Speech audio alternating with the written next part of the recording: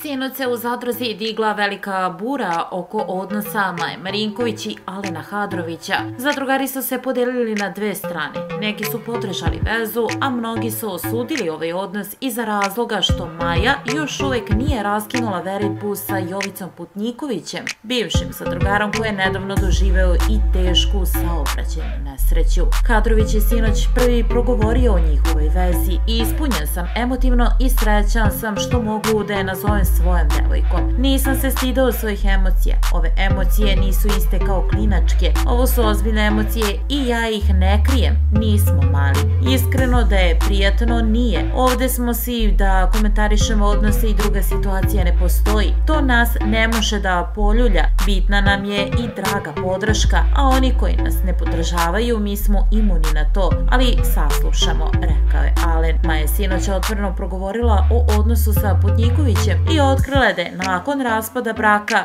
prebrzo ušla u vezu sa Jovicom. To nije bilo isforsirano, a on je bio tu uz mene kao podrška posle bivšeg muža. Prihvatio je i moje dete. Da nisam sigurna u Alena ne bih se upustila u to i ispada da ja lako verno ulazim u sve. A moje emocije prema Joci počele su da se gase. On je mene podržao za ovo, ali on me je podržavao. Jednostavno ovde se sve prelomilo u meni i znam da ispada ispadam loša. Što se tiče naše veze, rekla sam da mi je značilo jer je bio uz mene, a možda tada nisam bila iskrena prema njemu. Mi nismo pravili decu, ali hteli smo. Rekla sam da je to bila moja jedna od boljih veza, ali i tada emocije nisu bile iskrene i brak sa njim ne bi bio dobar i iskren. Nisam bila spremna. Sve je izgledalo kao da se ovde ništa neće desiti, ali nemam šta da kažem. Nisam mogla protiv sebe, rekla je Marković.